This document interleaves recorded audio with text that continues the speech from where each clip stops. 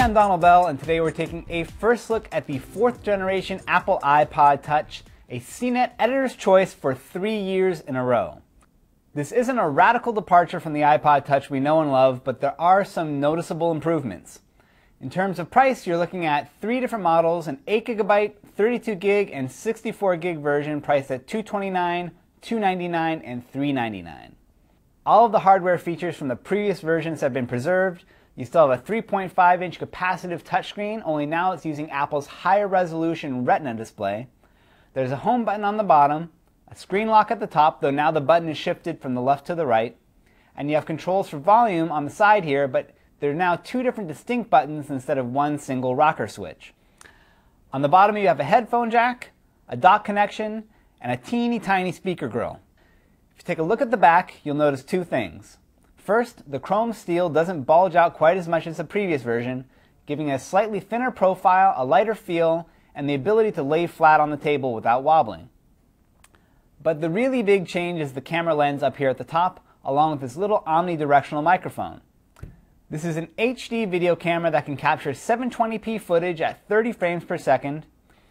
Just like the iPhone, you can use the built-in editor to trim your video clips or spend an extra $4.99 on iMovie app with more advanced features.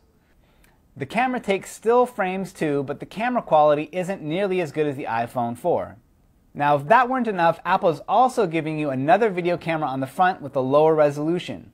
You can use this same camera for snapping self-portraits, but its main purpose is for making video calls using Apple's FaceTime app. By using email addresses instead of phone numbers, you can make free video calls over Wi-Fi to other compatible iPhones or iPod Touches. It's a cool feature, it works well, and Apple puts the new app right here at the top of the menu.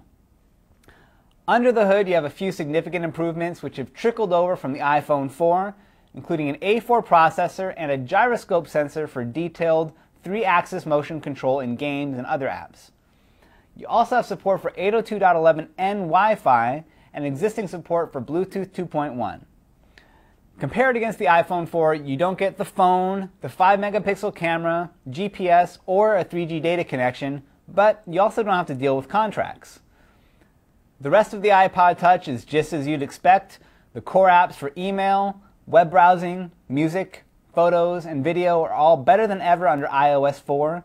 You now have the new ability to rent TV shows, Games look and perform better than ever. With the internal mic, you no longer need a microphone headset or an adapter to take advantage of audio recording or the voice memo app. And some third-party camera and video apps now work as well.